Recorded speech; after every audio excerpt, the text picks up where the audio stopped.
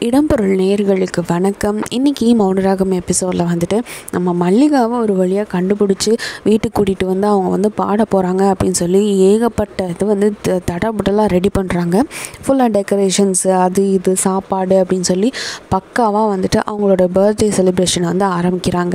இந்த பக்கம் விஸ்வநாதனுக்கு ஸ்வர்ணம் வந்து ஃபோன் பண்ணி நீங்களும் குடும்பமும் கண்டிப்பாக இங்கே வந்தே ஆகணும் அப்படின்னு சொல்லி மல்லிகா எப்படியாவது கண்டுபிடிச்சிடலாம் அப்படின்னு சொல்லிட்டு பயங்கரமாக சொர்ணம் வந்துட்டு மிரட்டுற தோரணையும் பேசுகிறாங்க அதே சமயம் சாதுவாக பேசுகிற மாதிரியும் பேசுகிறாங்க அதை புரிஞ்சுக்கிட்டு நம்ம விஸ்வநாதனும் சரி இல்லை இல்லை நாங்கள் வரோம் குடும்பமாக வரோம் அப்படின்னு சொல்லிட்டு இந்த பக்கம் நம்ம அவங்க அசிங்கப்படுத்துறதெல்லாம் பார்க்கணும்ல.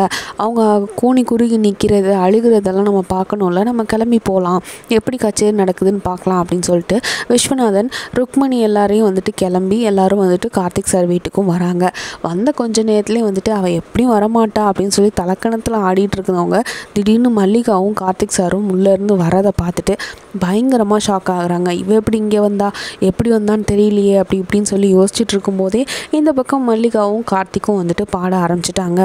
ஆக மொத்தம் சக்தி சொன்ன மாதிரியே மல்லிகாவும் கார்த்திக்கும் வந்துட்டு பாட்டு கச்சேரியெல்லாம் பாடி குடும்பமாக வந்து எல்லாரும் ரொம்ப சந்தோஷமாகவே இருக்கிறாங்க. அதை பார்த்து இவங்களும் வயிறறிஞ்சிட்ருக்காங்க. இதெல்லாம் தான் இன்றைக்கி எபிசோட ஹைலைட்டாக இருக்கிறது. நீங்கள் இன்றைக்கி எபிசோட் பற்றி என்ன நினைக்கிறீங்க அப்படின்றத கீழே கமெண்ட் பாக்ஸை சொல்லுங்கள் கூடவே மறக்காமல் சப்ஸ்கிரைபும் பண்ணிடுங்க